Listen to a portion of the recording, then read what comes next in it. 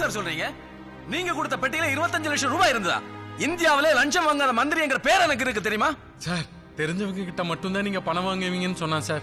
ரெண்டு மேம்பாலம் contract sanction பண்றதுக்கு இருபத்தஞ்சு லட்சம் ரூபாய் கேட்டதா சொன்னான் சார். யாருகிட்ட என்ன பேச்சு பேசுற? மேம்பாலமாவது புண்ணாக்காவது நான் பீச்ல வாக்கிங் போயிட்டு இருந்தேன். என் பின்னாடி வந்தான்.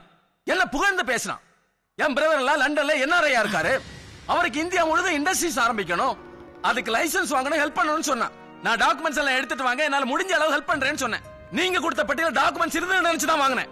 ஐயா கூட இதுக்கெல்லாம் எதுக்கு பொட்டின்னு கேட்டார? ஞாபகம் இருக்குங்களா? ஐயா அந்த பொட்டியை திறந்து கூட பார்க்கல. சார் அந்த பெட்டியவாவது கொடுத்துருங்க சார். இது நீங்க கொடுத்த பெட்டியில நீங்க கொடுத்ததா அவன் கொடுத்த பெட்டி. என்ன சார் சொல்றீங்க? நீங்க என்ன பார்த்துட்டு போன கொஞ்ச நேரத்துக்கு பிறகு மறுபடியும் அவன் இங்க வந்தான். எக்ஸ்கியூஸ் மீ சார் அது ஆந்திரா கொடுக்க வேண்டிய பெட்டி இதான் தமிழ்நாடு. பெட்டியில் ஒரு சின்ன கன்ஃபியூஷன் ஆயிடுச்சு. சாரி சார் பரவாயில்ல பரவாயில்ல. என்ன சார் இப்படி ஏமாந்துருக்கீங்க? ஏமாந்தது நீங்க நாங்க இல்ல.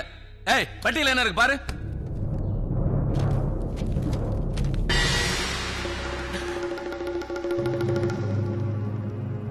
சார் அவன் பேர்ல ஏதாவது ஆக்ஷன் எடுங்க சார். லஞ்சம் கொடுக்க வந்தீங்கன்னு உங்க மேலதான் ஆக்ஷன் எடுக்கணும். பரவாயில்லையா?